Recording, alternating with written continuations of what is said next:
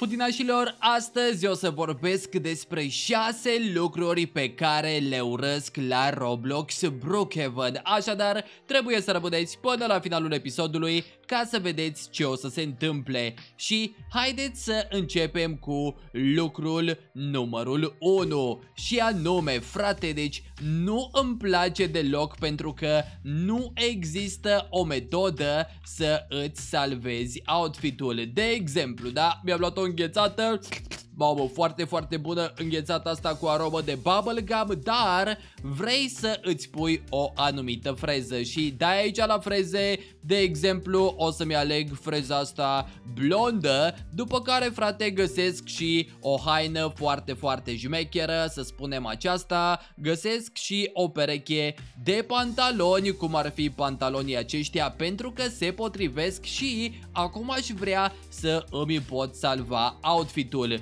efectiv să dau pe un buton și să pot să îmi fac outfitul acesta într-o secundă. Însă din păcate nu pot să fac asta. Singura modalitate să revin la outfitul meu vechi este să îmi resetez caracterul. Deci dacă dau aici îmi resetez caracterul și așa o să îmi iau hainele pe care le-am avut la început, însă aceste haine le am luate din avatarul de pe Roblox, adică nu sunt salvate undeva aici pe Brookhaven. Nu ar fi tare să ai mai multe variante, de exemplu, outfitul cu numărul 1, cu numărul 2, cu numărul 3, numărul 4 și așa mai departe, să fie undeva la 5 sloturi maximum și acolo să poți să îți salvezi mai multe haine care îți plac ție. Mie mi s-ar părea super super tare dacă s-ar introduce așa ceva în Brookhaven. Acest lucru nu îmi place pentru că nu există. Dacă ar fi existat, cred că ar fi fost foarte, foarte șmecher. Așadar, haideți să trecem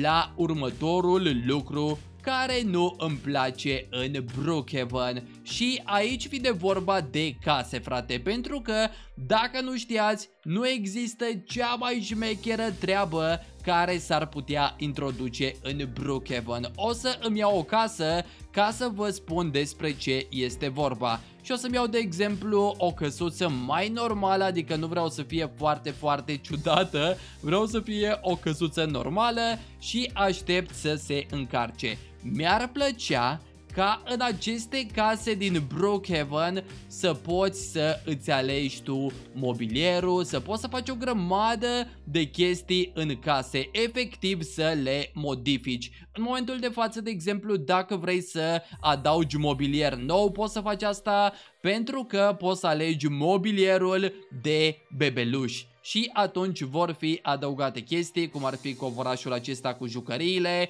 de asemenea avem uh, scăunelul acesta pentru bebeluși și așa mai departe, dar nu poți tu să modifici toate toate chestiile. De exemplu, poate aici nu aș vrea să fie un șemineu, aș vrea să fie altceva, poate aș vrea să fie niște scaune sau poate încă o canapea sau poate televizorul nu aș vrea să fie aici sau poate nu aș vrea să fie culoarea asta la televizor și aș vrea să îl fac alb. Există niște modalități, uh, de exemplu, prin care voi ați putea să vă dați seama cum ar arăta toată, toată nebunia aceasta în Brookhaven. Dacă v-ați jucat vreodată Bloxburg, uh, vă dați seama că acolo puteți să faceți o grămadă de chestii. Așadar, dacă știți minigame-ul Bloxburg sau dacă nu îl știți puteți să-l încercați pentru că este pe Roblox și acolo puteți efectiv să vă creați casa de la zero, să vă puneți mobilier, televizor, uh, lumini și așa mai departe și cred că ar fi foarte, foarte tare dacă s-ar introduce asta și în Brookhaven. Să-mi scrieți voi acolo în comentarii ce părere aveți dacă s-ar adăuga toate, toate nebuniile acestea în Brookhaven. Și hai să mergem la următorul lucru Pentru că mai am un lucru care nu îmi place în momentul de față în Brookhaven Și mă refer la tot spațiul acesta liber bro. Adică este o grămadă de spațiu liber și efectiv nu se adaugă nimic. Avem câteva clădiri așa pe aici pe acolo, cum ar fi aici zona aceasta de fermă, însă este foarte, foarte mult spațiu gol. Dacă vă uitați, sunt o grămadă de parcele unde nu există nimic. Și mai ales dacă te duci în partea asta la altă, sunt prea multe spații libere, bro. Ar putea fi adăugat ceva aici în partea asta din stânga, de asemenea în partea din dreapta, pentru că sunt mult prea multe locuri libere. Adică eu cred că s-ar mai putea adăuga o grămadă de clădiri noi, însă sunt curios ce se va întâmpla pe parcurs în viitor, ce va adăuga developerul, pentru că, nu știu, mi se pare că se adaugă mai multe chestii aici în mijlocul Brookhaven-ului, însă nu se adaugă și în partea din spate. S-ar putea găsi acolo o grămadă de chestii interesante, dar asta o să vedem pe parcurs. O să vedem dacă vor fi adăugate sau nu. Acum vreau să vă spun un nou lucru care nu îmi place pe Brookhaven. Nu îmi place pentru că efectiv nu poți să mănânci orice. Adică mi s-ar părea tare să poți să mănânci o grămadă de lucruri. În momentul de față, de exemplu, dacă e banana, stai așa să caut o banană sau mai sunt și alte fructe, cum ar fi mărul,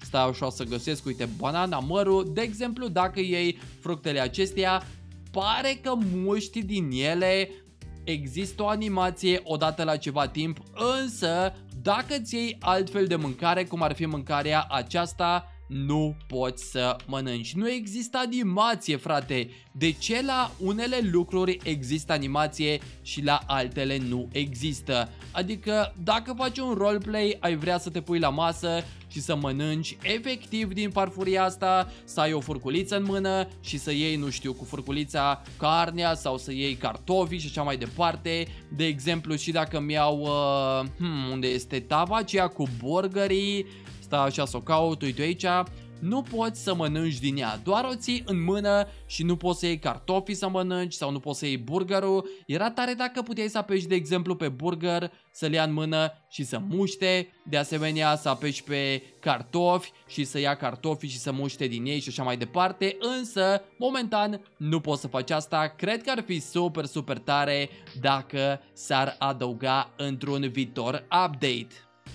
Și acum, hudinașilor, a venit un uh, moment super, super important pentru că acum o să vorbim despre un lucru care nu-mi place și cu siguranță acest lucru nu vă place nici vouă pentru că ne dorim cu toții să existe peturi în Brookhaven. Adică aș vrea să am frate un animăluț cu care să mă plimb și așa mai departe Exact cum poți să adaugi copii. Deci dacă dai aici și te duci la copii poți să îți adaugi un copil de exemplu care te urmărește, vine după tine și s-ar putea introduce super super ușor și petul la fel, adică să fie un pet care să te urmărească, să poți să faci anumite chestii, să-l mângâi, să te joci cu el și așa mai departe, însă momentan nu există asta. Există niște mini peturi, așa să spun, dacă te duci uh, aici mi se pare și te duci la ghiozdan sau la coadă, uite poți să spui aici un cățeluș, dar efectiv se mișcă așa după tine, dar nu are o animație, adică e ca și cum uh, îl tragi după tine, e ca și cum e un cățeluș de jucărie și îl tragi după tine, nu se mișcă, nu pare real și din cauza aceasta nu aș putea să îl numesc pet, mai degrabă este un accesoriu, dar dacă s-ar adăuga peturile, cred că ar fi ceva super, super interesant și cred că ar schimba puțin dinamica Brookhaven-ului. Așadar, de-abia aștept să avem peturi în Brookhaven. O să-mi scot acum repede bebelușul, oarecum îl scoteam, cred că așa, nu? Da, nice! Și acum trebuie să-mi scot și uh, accesoriul, adică cățelușul și hai să vorbim despre ultimul lucru care nu îmi place petrece în Brookhaven. Și ultimul lucru se referă la camera aceea goală de lângă dentist. Deci dacă vii aici la dentist, adică în partea stângă e dentistul, dar dacă te duci în partea dreaptă, există o cameră goală, care este goală de foarte, foarte multă vreme. Această cameră efectiv nu a fost umplută cu nimic și îmi doresc ca pe viitor să văd ceva aici. Poate chiar magazinul de peturi. Cred că ar fi super, super interesant sau poate un alt magazin, cine știe, dar aș vrea ca această cameră să fie umplută cu ceva, pentru că este acolo efectiv pe degeaba, adică nu este folosită la nimic, frate. Cam acestea au fost cele 6 lucruri pe care le urăsc în Roblox Brookhaven. Sper ca pe viitor să se schimbe totul, să nu uitați să rupeți butonajul de like, să apăsați și pe subscribe și pe clopoțel ca să primiți toate, toate notificările, iar noi ne reauzim ca de fiecare dată pe următoarele episoade. Pa, pa!